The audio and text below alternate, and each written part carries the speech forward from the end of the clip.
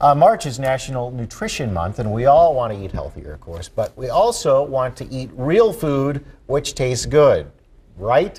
Well, joining us is health coach and motivational speaker and blogger at Weightless, uh, Jen Espinosa Goswami. Nice to have you here, Jen. Thank you, Tom. It's nice to be here. Yeah, and you call yourself a former fat girl, your words. I do. You, but this is incredible. You lost 90 pounds.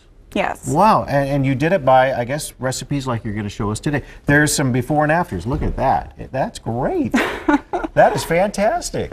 Congratulations on that. Well, thank you. How long did it take you to do that? It took me about a year, Mm-hmm. which is the average amount of time most people take to lose that much weight. It's a Right. significant amount of weight. But yeah, I, I just experimented. I tried different things and I figured out the process. I like it. Well, let's hear some of the secrets. uh, and, and one thing you were telling me, yes, Tom, you can have your cake and eat it too, because we were talking about the fact that when you go through weight loss and that type of thing, sometimes you, the food isn't the greatest. So in this case, you've got some desserts that are desserts, A, and B, they taste really good. Absolutely, and I really feel that you don't have to deprive yourself. In fact, it, studies show that 96% of dieters who give up their favorite foods, they give up their diet because they don't want to eat those gross, I mean, those healthy foods all the time. You Sure. want to treat yourself.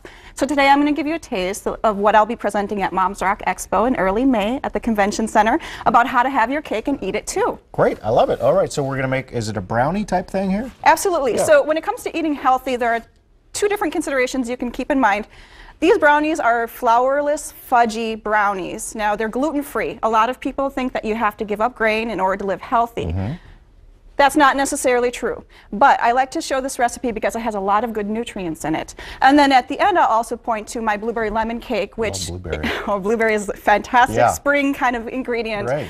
And it incorporates high fiber and yogurt for fat. So I'll talk a little bit about the different substitutes we can use. I love it. All right, let's get going. Fantastic. Well, first of all, I'd like to point to the different substitutes up front here. Sure. We have almond flour and oat bran. Mm-hmm. These are great substitutes for white flour because, you know, white flour is not very healthy. We do a lot of for you. this with like pancakes and that kind of thing. Absolutely. Mm-hmm. And for those people who don't like the taste of the texture of it, that's fine. Use half white flour Yes, and half that's oat what we do. Yep. Yeah, perfect. It works well. Right. And then in terms of fat, if you're looking for low fat baking, some of us are, you use things like yogurt and applesauce instead of Mm-hmm. Butter or oil. Ah, okay. I mean, I know uh, gr- my daughter Grace loves these, uh, but I didn't know you could use that as a substitute. Absolutely. Okay. And how many parents don't have GoGo squeeZ at their house? Right. Mm-hmm. if you have kids, you have GoGo squeeZ. And in terms of baking, coconut oil is also an excellent substitute for butter and for oil. Okay. Coconut oil is very high fat, but it has healthy fats, heart healthy The good kind of fat. Exactly. Got it. And that's what we're going to be putting in our brownies today. So you ready to cook it up? I am. What, what do you need me to do? Mm-hmm. Fantastic.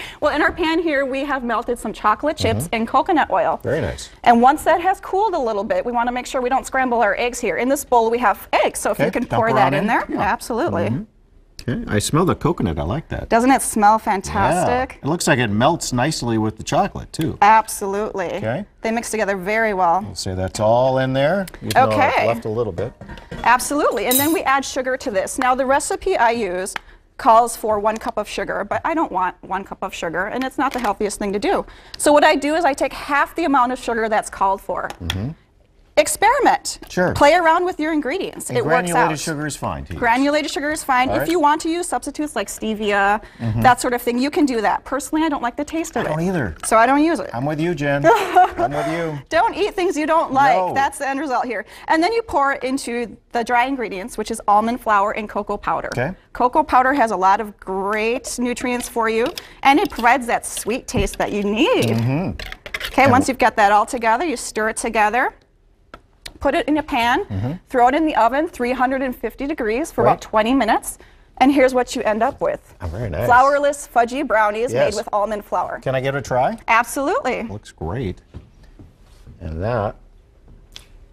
Oh, that's very good. Yeah, it has a very smooth texture. And you still get that nice cocoa flavor and the chocolate flavor. Absolutely. Excellent. Yeah. Jen, I love it. Uh, you can check out Jen's blog. It's Weightless is the name of the blog. Also mark your calendar because Jen is doing a demonstration at the Moms Rock Expo on May 2nd and 3rd. And where's that going on? That's at the convention center. Convention Center. Uh, information available at momsrockexpo.com. That's momsrockexpo.com. Jen, thanks for being here. Thank you, Tom. It was great to be here. We'll have to have you back sometime. for Absolutely. More desserts. So we like the desserts, especially those that are good for us. Absolutely. Doggone it.